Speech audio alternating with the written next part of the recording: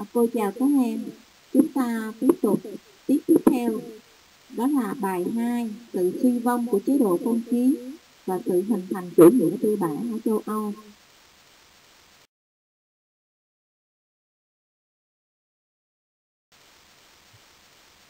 Bài 2 của chúng ta gồm có hai nội dung.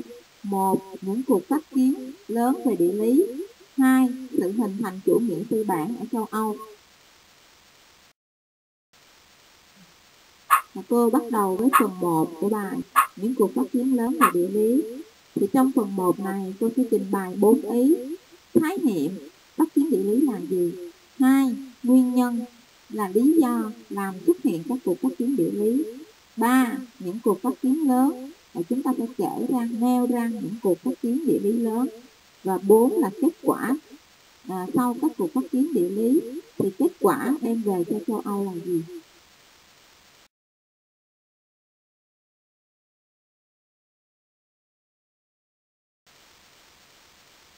đầu tiên, cô sẽ trình bày khái niệm. Về phát kiến địa lý. Phát kiến địa lý là gì?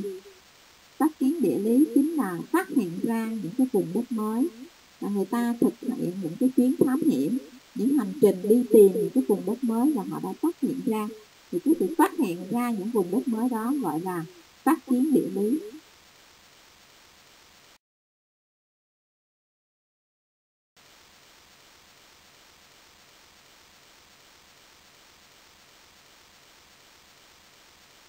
Của nguyên nhân làm xuất hiện các cuộc phát kiến địa lý là gì? Tìm đọc tư liệu sách giáo khoa lịch sử lớp 7 chúng ta sẽ có câu trả lời. Nguyên nhân dẫn đến các cuộc phát kiến địa lý chính là sự phát triển của nền sản xuất ở châu Âu lúc bấy giờ. Và chính cái sự phát triển đó nó làm nảy sinh nhu cầu về vốn, nguyên liệu, thị trường, vàng bạc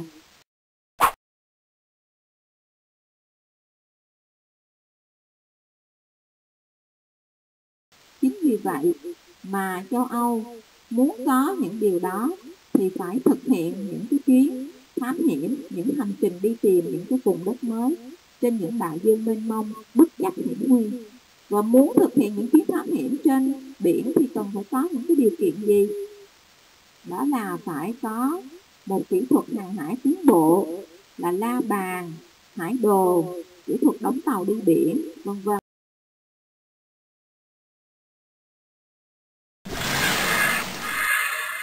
Tôi xin giới thiệu với các em một số hình ảnh. Đó là hải đồ vùng địa trung hải, thiết bị đo thiên văn, la bàn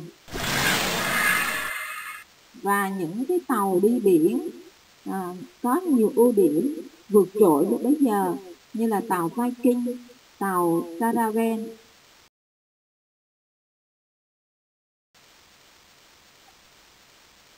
Chúng ta nói thêm về tàu Caravan Tàu Caravan là một loại tàu do người Bồ Đào Nha chế tạo năm 1460, có bánh lái, được lắp ba cột buồm lớn, cánh buồm của tàu hình vuông hoặc thanh giá màu trắng.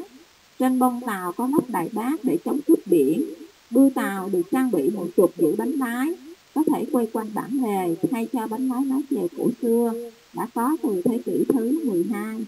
Và trên tàu có la bàn để xác định phương hướng một cách chính xác.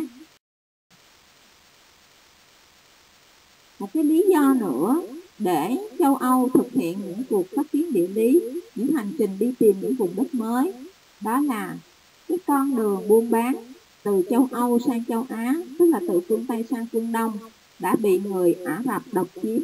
Họ ngăn chặn cái con đường này và bắt buộc các thương nhân châu Âu phải tìm cái con đường mới để sang phương Đông buôn bán. Vậy chúng ta có những cái cuộc phát kiến nào được xem là phát kiến tiêu biểu, những cuộc phát kiến lớn. Thì tôi xin trình bày các cuộc phát kiến địa lý lớn sau đây. Đó là phát kiến của nhà thám hiểm Bartolome de Arthur vào năm 1487 ông đã vòng qua cực Nam châu Phi. Và gần 10 năm sau 1498 Vasco da Gama đã vòng qua cực Nam châu Phi và đến được Tây Nam Ấn Độ. Năm 1492, Christopher Colombo tìm ra châu Mỹ và nhà thám hiểm Philip Magellan đã đi vòng quanh trái đất hết 3 năm, từ năm 1519 đến năm 1522.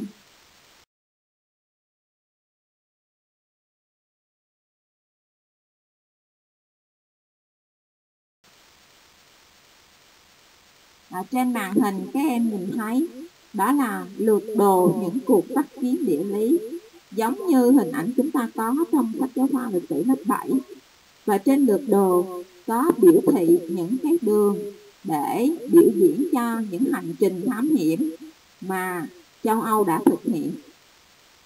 Đó là hành trình thám hiểm của Bartolome Diaz, Vasco da Gama, À, um, Christophe Colombo và Philip Magellan. Chúng ta sẽ tìm hiểu cụ thể từng cái cuộc phát kiến địa lý lớn. Trên màn hình chúng ta nhìn thấy lược đồ những cuộc phát kiến địa lý lớn ở thế kỷ 15, 16 và chúng ta nhìn ở góc trái chúng ta sẽ nhìn thấy được những cái chú giải để chúng ta có thể dễ dàng hiểu được về những cái cuộc phát kiến địa lý này cái mũi tên màu xanh dương là để chú giải cho hành trình thám hiểm của Diaser mũi tên màu xanh lá là chú giải cho hành trình của Vasco de Gama mũi tên màu nâu là chú giải cho hành trình thám hiểm của Christophe Colombo và mũi tên màu cam chính là cái đường biểu diễn cho hành trình của chính Magellan. Ở đây là Bartolome de người Bồ Đào Nha. À, ông đã thực hiện chuyến thám hiểm của mình vào năm 1487. Xuất phát từ châu Âu, ông đi sát vào bờ biển châu Phi và đến được mũi cực nam châu Phi. À, chúng ta thấy cái mũi cuối cùng điểm cuối cùng ở phía dưới phía nam châu Phi đó gọi là mũi cực nam châu Phi và hành trình của Bartolome de chỉ đến được mũi cực nam châu Phi và sau đó là chấm dứt. Bởi vì khi đến nơi này thì bão tố phong ba nổi lên à, khiến cho đoàn thám hiểm không thể thực hiện tiếp tục cái hành trình của mình và phải quay về. Và sau đó cái mũi cực nam châu Phi này được đặt tên là mũi bão táp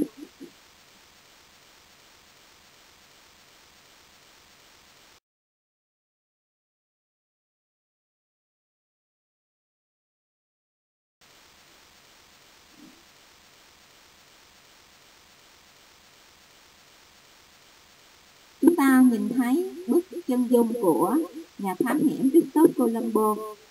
À, từ Tây Ban Nha ông đã thực hiện cái hành trình thám hiểm của mình vào năm 1492 và đến được châu Mỹ. Khi đến được châu Mỹ thì Colombo nhầm tưởng rằng nơi mà mình đến đó là Ấn Độ. Chính vì vậy ông đã gọi những người thổ dân da đỏ mà ông đã nhìn thấy ở châu Mỹ bằng cái tên gọi là người Indian tức là người Ấn Độ. Nhưng thật ra họ không phải là người Ấn Độ mà họ chính là những thổ dân da đỏ chủ nhân của vùng đất châu Mỹ.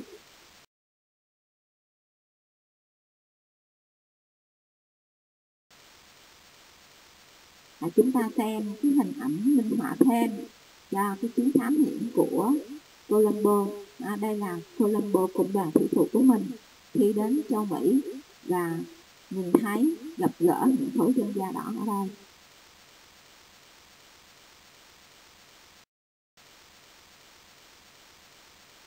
Tục hành trình thám hiểm. Thứ ba được xem là cuộc phát kiến địa lý lớn chính là hành trình của Vasco da Gama. Nước Bồ Đào Nha ông thực hiện hành trình thám hiểm của mình vào năm 1497 và ông cũng đi lại con đường của Bartolome de tức là cũng đi về phía cực nam châu Phi. Nhưng ông đã thành công hơn là vượt qua được mũi bão táp. À, và đến được Ấn Độ của châu Á, cập vào cảng biển Calicut của Ấn Độ. Chính vì vậy cho nên mũi bảo táp đã được đổi tên thành mũi hảo vọng.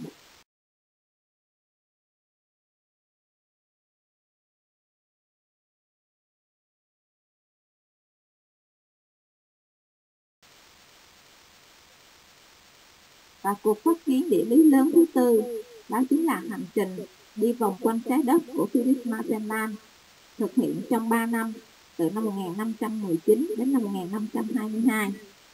là chúng ta quan sát trên lượt đồ, những cái đường biểu diễn thể hiện lại cái hành trình đi vòng quanh trái đất của Philip Martinland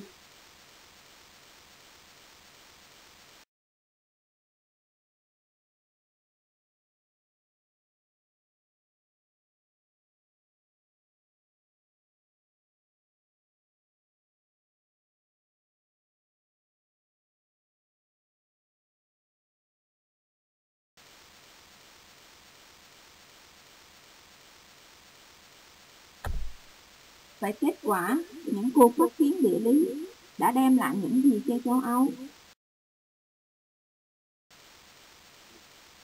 Và kết quả là họ đã tìm ra những cái vùng đất mới và đem lại cho châu Âu một cái nguồn lợi khổng lồ, làm thúc đẩy thêm nữa cái nền kinh tế và nền thương nghiệp châu Âu phát triển.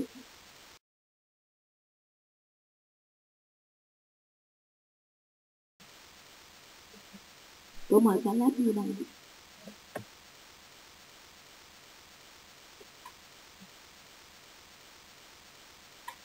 Để thuận lợi hơn cho việc ghi bài, thì cô lưu ý các em có thể tạm dừng màn hình để chúng ta ghi chép bài. Và tiếp tục nội dung ha Chúng ta sẽ tiếp tục với phần 2, sự hình thành chủ nghĩa tư bản ở châu Âu. Thì học ở bài 1 và kiến thức của chương trình lịch sử lớp 6 chúng ta cũng biết là xã hội loài người đã trải qua năm hình thức xã hội. Và ở mỗi cái hình thức xã hội thì chúng ta có hai cái giai cấp tương ứng với cái hình thức xã hội đó. Vậy thì khi chủ nghĩa tư bản được hình thành cũng là lúc xã hội ra đời hai cái giai cấp mới, đó là giai cấp tư sản và giai cấp vô sản. Bây giờ chúng ta sẽ tìm hiểu giai cấp tư sản ở châu Âu đã được hình thành như thế nào.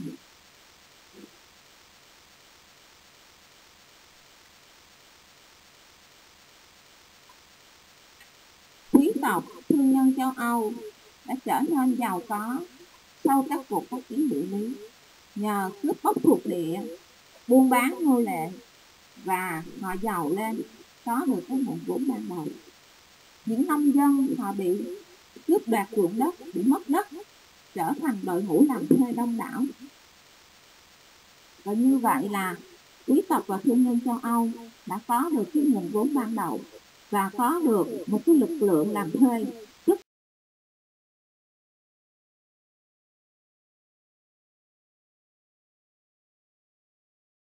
cho mình khi có được nguồn vốn và lực lượng lao động làm thuê đó thì các quý tộc và thương nhân châu Âu đã làm gì? À, họ mở rộng sản xuất, kinh doanh, lập đột điền, bóc lột sức lao động của những người làm thuê và họ trở thành những cái ông chủ lớn sở hữu trong tay rất nhiều tư liệu sản xuất à, nắm trong tay rất nhiều đồn điền trang trại nhà máy xí nghiệp và họ chính là giai cấp tư sản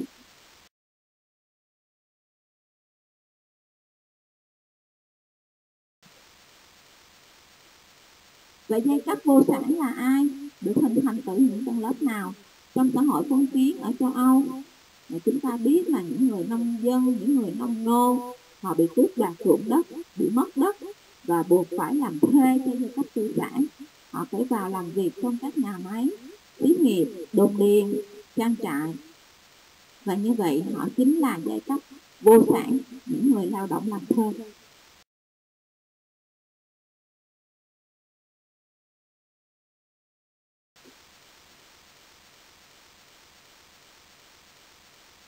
Và chúng ta cũng cố lại về cái quá trình hình thành giai cấp tư sản và giai cấp vô sản ở xã hội châu Âu. Giai cấp tư sản được hình thành từ quý tộc, thương nhân, họ trở nên giàu có nhờ cướp bóc thuộc địa, mở rộng sản xuất, kinh doanh, lập đồn điền và bóc lột sức lao động của những người làm thuê và trở thành giai cấp tư sản. Giai cấp vô sản là những nông nô bị mất ruộng đất, buộc phải làm thuê cho giai cấp tư sản. Và khi mà xã hội có sự ra đời của hai giai cấp mới. Đó là giai cấp tư sản và giai cấp vô sản và chính là nền tảng cho sự xuất hiện của quan hệ sản xuất tư bản.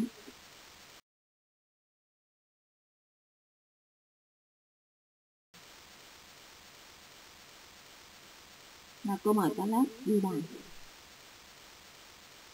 Sau các cuộc phát triển địa lý, xã hội châu Âu có nhiều biến đổi, dẫn tới sự xuất hiện của giai cấp tư sản và giai cấp vật lãnh. Kết quả là quan hệ sản xuất tư bản chủ nghĩa đã được hình thành.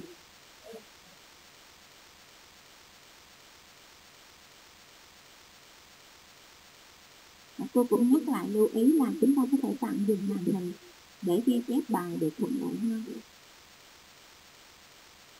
Phần 2, sự hình thành chủ nghĩa tư bản ở châu Âu cũng đã kết thúc bài 2 của chúng ta. Và cô có ờ, vài dòng dặn dò để các em chuẩn bị tốt hơn cho tiết học tiếp theo. Đó là học bài cũ, trả lời được các câu hỏi trong sách giáo khoa trang 8.